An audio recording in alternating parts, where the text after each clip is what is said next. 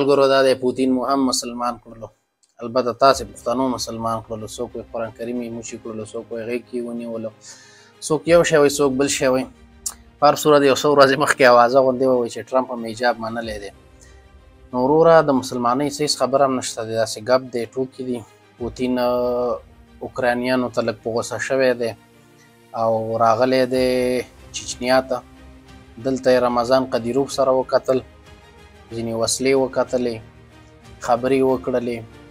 او دا بیان یې ورکړلو چې د اوکرانیا اوکرانیانو ته لږ غوږونه تاومه وخت یې را رسېدلی چې باید هغې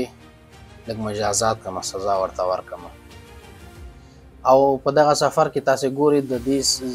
چچنیا کې مرکزی جماعت دی دغه جماعت ته دا راغلی لیدنه کوي دلته یو قران کریم دی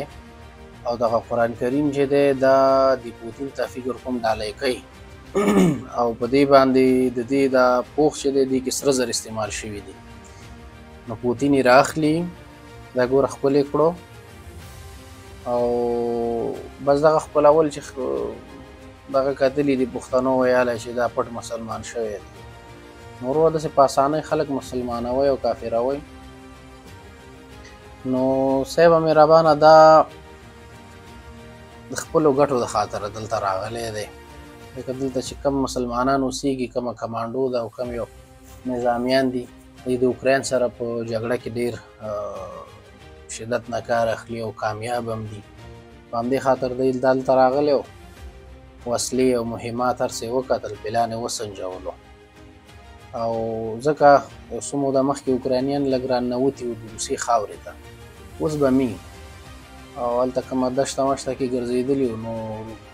پوتین یې غوسه کړی دی پوتین ورته ویلي زه به تاسو سره ګورم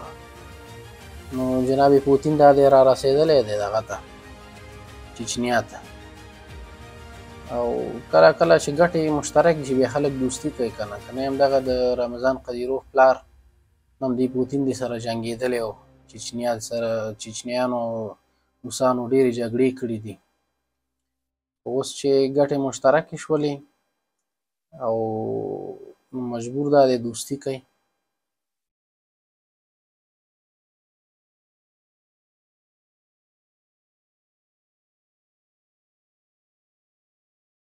اګوره نظامیانو منځ کې ولاړ دی تقریر ورته کوي